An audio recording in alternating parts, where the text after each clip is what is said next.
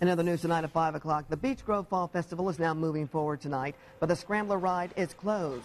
Now, last night, a metal bar fell off the Scrambler, injuring a rider. Now, you might not think the state would shut down a ride for good in this situation, and Eyewitness News reporter Rich Van Wyk found out that's the way it works. Rich? John, we're learning new information. I just received information from the Department of Homeland Security responsible for these ride inspections.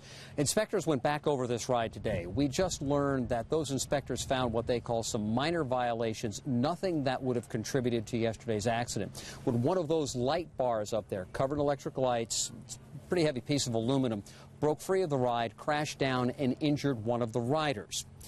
The inspectors declared the ride safe to use. The Beech Grove mayor said, no thanks, shut it down and take it away. And the company said, okay.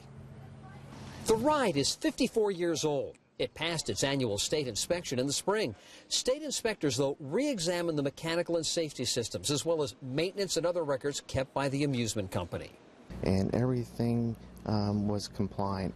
But Beech Grove isn't taking any chances. We have asked Poor Jacks to go ahead and take it out of service for the remaining of the festival. Why? Uh, in the interest of public safety. Last night, Amanda Gasper was taking a video of her son and mother riding the scrambler. Seconds later, it was nearly tragic. A metal bar full of electrical lights apparently snapped free and fell, hitting a 17 year old rider in the face. The witness say he was trying to protect his girlfriend. And like the boyfriends were just like toppling over all the girls and like trying to save them. The young man's injuries appeared to be minor. The owners of Poor Jack Amusements didn't want to discuss the accident. The family owned Indiana company has been in business for decades. It's been part of Beech Grove's festival for 39 years. City officials say they haven't had a problem until now. We have always had a great working relationship with Poor Jacks in the interest of public safety. In fact, the Department of Homeland Security, which is responsible for these inspections, says the company is very responsible uh, to the suggestions that inspectors make.